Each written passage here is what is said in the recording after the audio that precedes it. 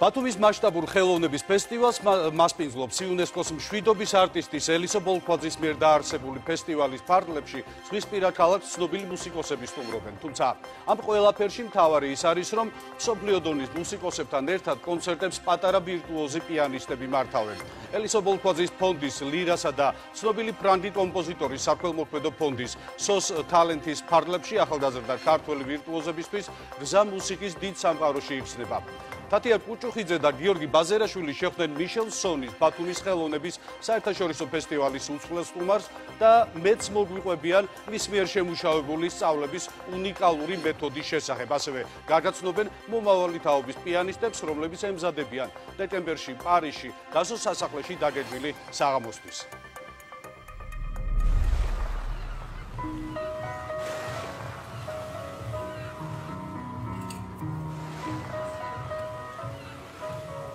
შემოდგომის სფერები შავი ზღვის სანაპიროს ტურისტულად ყველაზე დატვირთულ ქალაქს ალბათ ყველაზე მეტად უხდება. ბათუმი მხოლოდ ზღვის სიყვარული არ არის, განსაკუთრებით წელიწადის ამ დროს. შემოდგომაზე როცა ქალაქს კლასიკური მუსიკის ჰანგები ეფინება. სანაპიროს და ცის სილურჯეში თეთრი როიალი მართლაც შთამბეჭდავი სანახაობაა, მაგრამ ეს მთავარი მიზეზი არ არის, რის გამოც წელს უკვე მეშვიდეთ. ამ პატარა ქალაქმა შავი ზღვის საერთაშორისო მუსიკალურ ფესტივალს უმასპინძლა. ბათუმი სწორედ ის ქალაქია, რომელიც საფესტივალო ფორმატ ძალიან უხდება, იმიტომ რომ ეს არის თან დასვენება, თან ინფრასტრუქტურა განვითარებული, თან ზღვა, თან ბევრი რამ კომპონენტი ერთად, ჩემი ასე ვთქვათ, შორს მიმავალი გეგმები არის ის, რომ შავი ზღვის ქვეყნების კულტურული პლატფორმა შეიქმნას ბათუმის ფესტივალის სახით და ეს იყოს საერთაშორისო გრავიტაციის მიმზიდველობის მქონე ფესტივალი.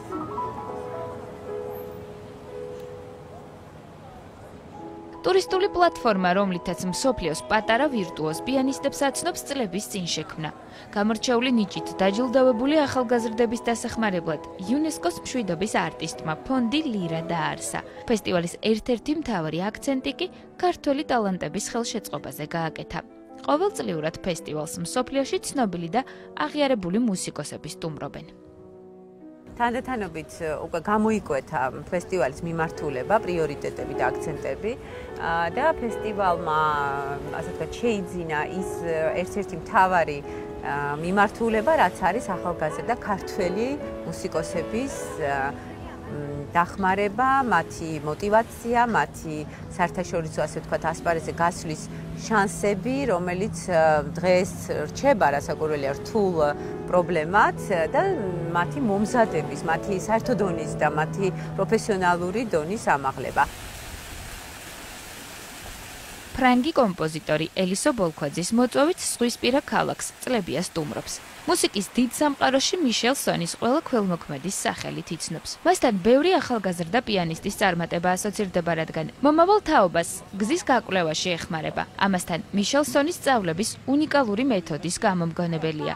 სამუსიკო სასწავლებლები სწავლების ამ მეთოდს პრაქტიკაში თელს მსოფლიოში იყენებენ. 1995 წლიდან სონი ხელმძღვანელობს მუსიკალურ ინსტიტუტს ვილა შინდლერი ავსტრიაში, სადაც ფონდის სახელწოდებით სოს ტალენტი ჩამოაყალიბა.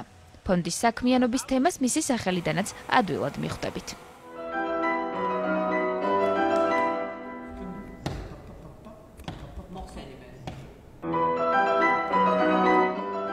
ბავშვებმა, რომლებმაც სოს ტალენტის სტატუსი წლების წინ მოიპოვეს, უკვე კარგად იციან, როგორ გახადონ შესრულება კიდევ უფრო გამორჩეული. მაესტრო ფონდის რჩეულ ვირტუოზებთან წლებია მუშაობს. ექვსი ქართველი პიანისტი, რომელიც მსოფლიო მუსიკალურმა საზოგადოებამ უკვე გაიცნო, ნაწარმოებებს სონის ცნობილი საფორტეპიანო მეთოდით ამუშავებს. სონის ჯადოქრობა, როგორც ამ მეთოდს მუსიკალური სამყარო უწოდებს, ახალგაზრდა თაობას რითმის აღქმასთან აახლოებს. ყოველ წელს, ასე რომ ვთქვათ, უფრო და უფრო ვიზრდები პროფესიონალურად და რა თქმა უნდა, ამაში მეხმარება მიშელსონის ინოვაციური მეთოდი, რომელიც შედგება პროლეგომენებისგან და ეჭვდებისგან. პროლეგომენები ძალიან მეხმარება ბგერის, კლავიატურასთან შეხების და ნაწარმოების მუსიკალურობაში უკეთესად წვდომაში. საერთაშორისო მუსიკალური საზოგადოების ყურადღების ეპიცენტრში მოსაქცევად ქართველი ტალანტებისთვის ამ ორი ფონდის თანამშრომლობა ერთგვარი ტრამპლინიცაა. მსოფლიოს სხვადასხვა ქვეყნის აფიშებზე მათ სახელებს უფრო და უფრო ხშირად შეხვდებით. ელისო ბოლქვაძის ფონდი ლირა და მიშელსონის საქველმოქმედო ფონდის სოს ტალენტს ერთობლივად ზრუნავენ ახალგაზრდა ქართველი ტალანტების აღმოჩენასა და ინტეგრაციაზე.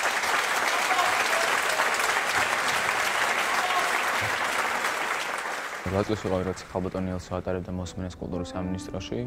გადაწყვიტეთ რომ გავსულიყავი ამ მოსმენაზე და ამ მოსმენის შედეგად აგვარჩიეს ორი ბავშვი მე და ბარბარ თათარაძე აი იქიდან მოყოლებული მე 7 თუ მე 8 წელია უკვე ვარ თან ფონდში და ყოველწლიურად გვაქვს კონცერტები და მასტერკლასები. So yesterday was my first visit in Georgia. ფესტივალის ფარგლებში საქართველოსი პირველი კონცერტი ჩავატარე. ბევრი დადებითი ემოციით ვარ დატვირთული.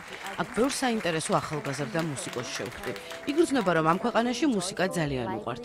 მათ ძალიან გაუმართლათ ელისო ბოლქვაძესა და მიშელ სონისთან თანამშრომლობით. მე მან ბევრი რამ ასწავლა და დღემდე აქტიურად ვესწრები მის მასტერკლასებს. მაესტროსგან მიღებული გამოცდილება ძალიან დაეხმარებათ. მაესტრო მიშელ სონის საფორტეპიანო ხელოვნების სწავლების მეთოდი ინოვაციური და შემოქმედებითია. ფრანგმა კომპოზიტორმა ეს მიდგომა როგორც თავად ამბობს, თითქმის 50 წლის წინ შეიმუშავა.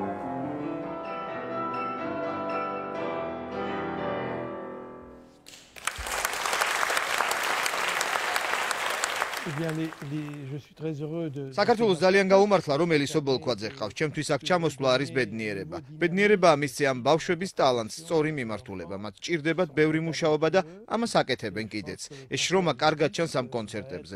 შემიძლია დავადასტურო რომ ეს ბავშვები ტიტანურ შრომას გადიან სანამ სმენელის წინაშე გამოვლენ.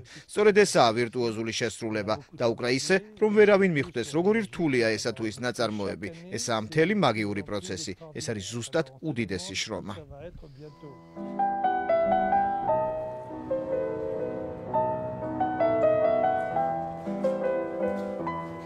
ექვსი რჩეული პარიზში საახალწლო კონცერტზე წელს ისევ წავა. ზღაპრული დასოს სასახლე ტალანტებს კარს ყოველთვის ფართოდ უხსნის. ბათუმის შავი ზღვის საერთაშორისო მუსიკალური ფესტივალი კი საქართველოში ერთადერთი ღონისძიებაა, რომელიც იუნესკოს პატრონაჟით ტარდება.